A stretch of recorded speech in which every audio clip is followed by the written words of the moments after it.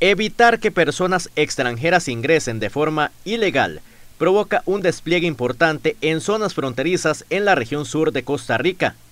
Corredores y Cotobruz, además de Golfito, están en la mira de las autoridades, que tienen personal destacado en estos puntos.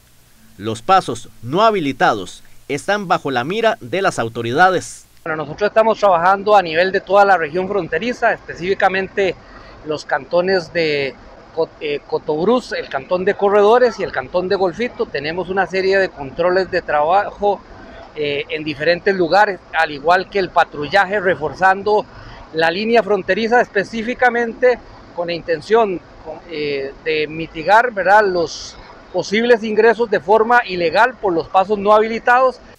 El trabajo es fuerte en corredores, que se encuentra bajo alerta naranja, mismo caso que Golfito.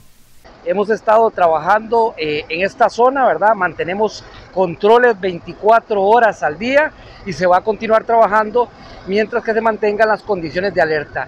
Es importante recordar que acá mantenemos eh, operaciones producto de la alerta naranja en el cantón de Corredores, pero también mantenemos una fuerte operación en la frontera producto de la operación del cierre de fronteras, mientras que no se permita el ingreso de ninguna persona al país. Personas de varias nacionalidades ya fueron sorprendidas en nuestro país de forma ilegal como parte de estos operativos de control.